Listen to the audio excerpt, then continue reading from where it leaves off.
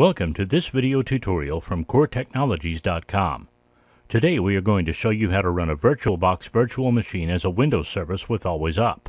Once we are done, your VM will start immediately when your computer boots and will keep running 24-7 in the background, even if no one ever logs on.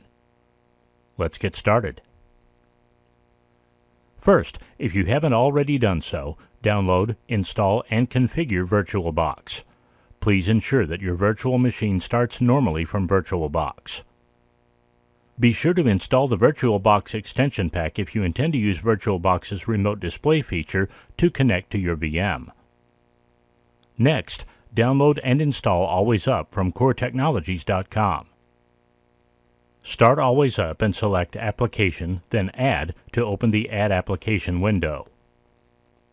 In the Application field, enter the full path to the vboxheadless.exe application, which allows you to start a VM without a graphical interface. If you installed VirtualBox in the default location, this is c colon slash program files slash oracle slash virtualbox slash vboxheadless.exe. In the Arguments field, enter Start VM, then your virtual machine name. The virtual machine name is the name of the VirtualBox VM you would like to start automatically. Our VM is called Debian, so we have entered Start VM Debian. In the name field, enter the name that you will call the application in AlwaysUp. We have used Debian VM, but you can specify virtually anything you like. Click over to the Logon tab and enter the username and password of the account where you have run your virtual machine successfully probably the one you are logged into right now. AlwaysUp will run your VM in this account so that it can find its settings. Click over to the Startup tab and check the Ensure that the Windows Network components have started box. This informs AlwaysUp that VirtualBox needs the TCP IP networking stack to operate. In order to save your VM state when it stops, move to the Extras tab and check the Use this special command to stop the application box. Specify the full path to the vboxmanage.exe application along with a few arguments. C colon slash program files slash oracle slash virtualbox slash vboxmanage.exe control VM virtual machine name Save state.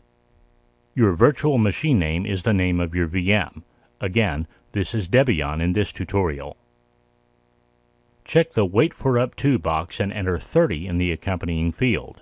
This informs AlwaysUp to wait for up to 30 seconds for VirtualBox to exit properly before forcibly closing it. Click the Save button.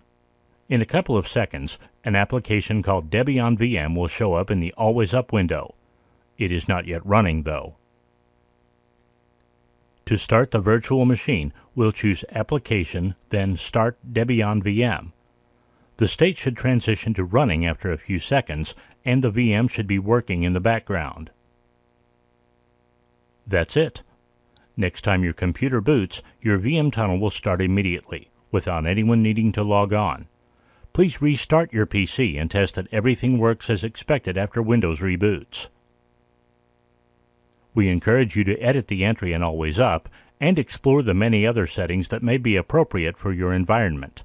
For example, send email alerts if the VM stops, hide the console, boost priority, and much more. Thank you for watching.